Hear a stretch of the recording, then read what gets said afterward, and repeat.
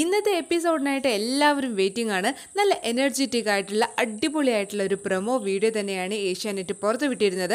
അതുമാത്രമല്ല എവിക്ഷന്റെ കാര്യത്തിലും ഒരുപാട് പ്രതീക്ഷയോടെ ഒരുപാട് ആകാംക്ഷയോടൊക്കെ തന്നെയാണ് നമ്മൾ കാത്തിരിക്കുന്നത്. ഒരു കോടതി വിധി പോലെയുള്ള സംഭവം അവിടെ നടക്കുന്നുണ്ട്. ഓരോരുത്തർ ഓരോരുത്തരായിട്ട് കൂട്ടിൽ കയറ്റിയിട്ട് വിസ്തരിക്കുന്നുണ്ട്. കിഡ്ലം ഫിറോസിനെതിരെ നല്ല മാസമായിട്ട് തന്നെ മണിക്കുട്ടനും സായിയും ഒക്കെ വാദിക്കുന്നുണ്ട്. ആ സമയത്ത് സായി ഒരു തഗ് ഡയലോഗ് അടിക്കുന്നുണ്ട്. സൂപ്പർ ആയിട്ടുണ്ട്. സായ് പറയുന്നത് ഗ്രൂപ്പായിട്ടാണ് നിങ്ങൾ ഇവിടെ കളിക്കുന്നത് എന്നുണ്ടെങ്കിൽ നിങ്ങൾക്ക് വല്ല ഗ്രൂപ്പ് ഡാൻസിലും പങ്കെടുത്താൽ പോരായിരുന്നു എന്നാണ് പറയുന്നത്. എനിക്ക് ഒത്തിരി ഇഷ്ടമായ സായിയുടെ ആ ഡയലോഗ്.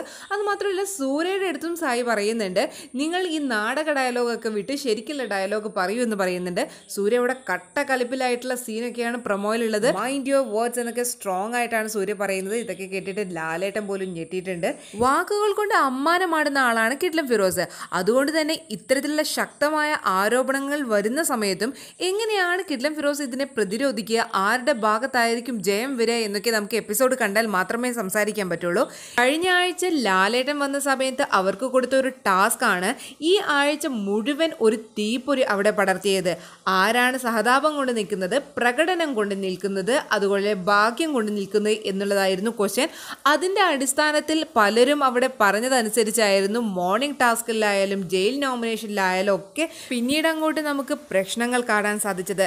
അതുപോലെ തന്നെയുള്ള ഒരു ടാസ്ക് തന്നെയാണ് ഇന്നും ലാലേട്ടൻ ഇട്ട് കൊടുക്കാൻ പോകുന്നത്.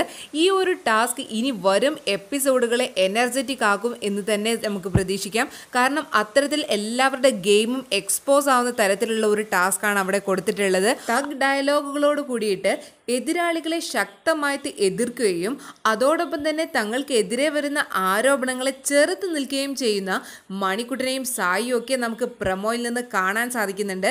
ഇതൊക്കെ തന്നെയാണ് ഇന്നത്തെ എപ്പിസോഡിന് വേണ്ടിയിട്ട് പ്രേക്ഷകരെ പിടിച്ചിരുത്തുന്നതും. അതുകൊണ്ട് തന്നെ പ്രതീക്ഷയ്ക്ക് ഒത്തുയരുന്ന ഒരു എപ്പിസോഡ് ആവട്ടെ എന്ന് നമുക്ക് പ്രത്യാക്ഷിക്കാം.